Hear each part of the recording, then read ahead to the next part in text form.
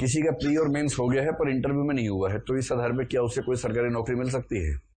नहीं, ऐसा कभी कभी होता है हाँ ये प्रश्न गलत नहीं है कभी कभी ऐसा होता है। अगर आप इंटरव्यू दें और सिलेक्शन ना हो तो हो सकता है कि आपके पास खुफिया ईमेल आए। ये जो आईबी और रॉ के लोग हैं ना, ये ऐसे लोगों को कई बार एब्जॉर्व कर लेते हैं। तो हो सकता है कि आईबी वाले आपको बुलाएँ या रॉ वाले बुलाएँ। फिर आप टेस्ट लेंगे, हल्का फुल्का इंटरव्यू लेंगे और हो सकता है आपको उसके बाद जॉब में ले लें और फिर आप अफ़गानिस्तान में पठान बन के जासूसी करें भारत की ओर से।